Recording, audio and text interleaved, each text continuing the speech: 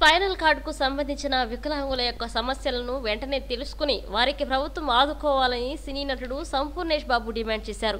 Warangal rural జిల్లా పరకాల పట్టణంలోని నార్లాపూర్ గ్రామంలో spinal cord injury association of Telangana spinal కార్డుకు సంబంధించిన గాయాలైన వికలాంగులు జిల్లా వ్యాప్తంగా సమావేశమయ్యారు. ప్రభుత్వం ఎన్నో పథకాలను ప్రవేశపెట్టి అందరినీ ఆదుకుంటుందని అలాగే వీళ్ళను ఆదుకోవాలని వెన్నుముకకు గాయాలై మంచాన బారిన పడిన వికలాంగులను పెద్ద మనసుతో ప్రభుత్వం ఆదుకోవాలని సినీ నటుడు సంపూర్ణేష్ బాబు డిమాండ్ చేశారు. స్పైనల్ కార్డ్ ఇంజురీ అయిన వికలాంగుల యొక్క బాధ వర్ణాతీతమని వీరి యొక్క కష్టాలను ప్రభుత్వం దృష్టికి తీసుకువెళ్ళడంతో తన వంతు కృషి ఉంటుందని అన్నారు.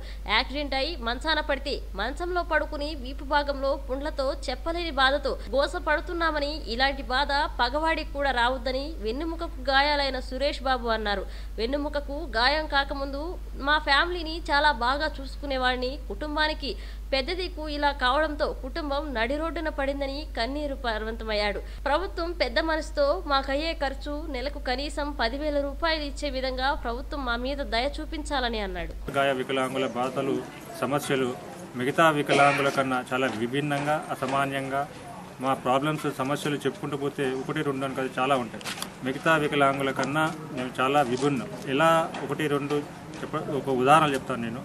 ఒకే జీవితంలో మేము రెండు జీవితాలను అనుభవించిన వాళ్ళం. యాక్సిడెంట్కు ముందు మేము సాధారణంగా అందరిలాగే మామూలుగా ఆడుతూ పాడుతూ ఉండేవాళ్ళం. కానీ ఒక యాక్సిడెంట్ అనేది మా జీవితాలని చిన్నాభిన్నం చేసింది. నాలుగు గోడల మధ్య ఖైదీంచేసింది మమ్మల్ని. మమ్మల్ని పట్టించుకునేవారు లేక నా అన్నవారు లేక కొంతమంది వివాహితులైన మా సోదరులైతే వాళ్ళకు వెన్నుపూస అయిన తర్వాత భార్య పిల్లలు వదిలేసి వెళ్ళిపోతే వాళ్ళు విలిపిస్తూ ఆత్మహత్యలు చేసుకున్న సందర్భాలు కూడా ఎన్నో ఉన్నాయి. ఈ విధమైన సందర్భాలలో వికలాంగులు వెన్నుపూసగాయ వికలాంగుల సమస్యలు ముఖ్యంగా చెప్పుకుంటే రెండు మూడు ప్రధానంగా ఉన్నాయి. ఒకటి బెడ్ సోర్లు. మాకు నడుం కింద శరీరం అంతా అచేతనంగా బిగుసుకుపోయి కదలిక లేని కారణంగా ఎలా కూర్చోబెడితే అలాగే కూర్చుండిపోతాం. ఎలా పడుకోబెడితే అలాగే పడుకుంటూ కాబట్టి గంటలు గంటలు అలాగే ఉండిపోవడం వల్ల మా శరీరంపై పుండ్లు ఏర్పడుతూ ఉంటాయి. పుండ్లు ఏర్- బెడ్ సోర్లు ఉంటాయి అవి చిన్న చిన్నగా పెద్దగా అయిపోయి పెద్దగా అయిపోయి అవి ప్రాణాంతకంగా మారిపోతాయి. దానికి చికిత్స లేదు. ఆ రకంగా బెడ్ సోర్ల ప్రాబ్లమ్స్ వల్ల చనిపోయిన వాళ్ళు మా వికలాంగులు చాలామంది ఉన్నారు. రెండవ ముఖ్యమైన సమస్య ఏంటంటే మూత్రనాళకు సంబంధించిన కిడ్నీల సమస్యలు యూరిన్ ఇన్ఫెక్షన్. మాకు యూరిన్ పైన కానీ స్టూల్ పైన కానీ అంటే మలమూత్రాల పైన మాకు స్పర్శ ఉండదు మాకు నియంత్రణ కూడా ఉండదు. ఈ ఈ సమస్య వల్ల చాలామంది వికలాంగులు ఇంటి నుంచి బయటికి రాలేక తిరుగుపడి అలాగే సమస్యాత్మకంగా మారింది. ఇతరుల మీద ఆధారపడి బతికే జీవనాలు మాయి కాబట్టి ఇంట్లో నుంచి బయటికి వెళ్ళడానికే దడుచుకునే వాళ్ళు ఉన్నారు బెదిరే వాళ్ళు ఉన్నారు భయపడే వాళ్ళు ఉన్నారు. కానీ ఇవాళ ఓ రకంగా అందరం కలుసుకుంటాం రమ్మంటే ఉత్సాహంగా అందరి అందరూ కలిసి వచ్చినందుకు నా తరపున అందరికీ అభినందనలు తెలుపుతున్నాను. అయితే మా సమస్యలు ప్రభుత్వం దృష్టికి తీసుకువెళ్ళాలనే ఒక చిన్న ప్రయత్నం ఇక్కడ చేశాం? గ్రామం అయినప్పటికీ చాలా ఉత్సాహంగా మిగతా వాళ్ళందరూ పార్టిసిపేట్ చేయడం చాలా సంతోషంగా ఉంది. మాకు మా ప్రధాన డిమాండ్లు ఏంటంటే గవర్నమెంట్ నుంచి మాకు వేరే సపోర్టర్ లేనిదే మేము ఒక అడుగు కూడా ముందుకు వేయలేము ఉదాహరణ నేను నా క్వాడ్రిప్లేజిక్ నా మెడలో స్పైనల్ కార్డ్ విరిగింది. ఇరవై సంవత్సరాలు అయింది. ఇరవై సంవత్సరాల నుంచి పూర్తిగా మా అమ్మకు ఒక పసిపిల్లవాడిలాగా నన్ను సాకాల్సింది అమ్మ చేసే సేవలపైనే నా భవిష్యత్తు నా బతుకు అంతా ఆధారపడి ఉంది. అమ్మ నాన్నల తర్వాత నా భవిష్యత్తు ఏంటి అనేది ప్రశ్న. ఈ ప్రశ్న నాది కాదు.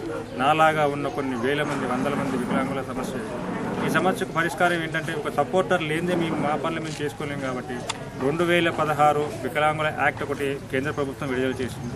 దాని ప్రకారం ఏంటంటే పూర్తిగా మంచానికే పరిమితమైన వంద శాతం పేషెంట్లకి వారికి పెన్షన్ ఇవ్వడమే కాకుండా వారికి సేవ చేసే సంరక్షకులకు కూడా పెన్షన్ ఇవ్వాలని ఆ చట్టంలో పేర్కొనబడింది. ఆ చట్టం ఇంతవరకు మన రాష్ట్రంలో అమలు పరచలేదు.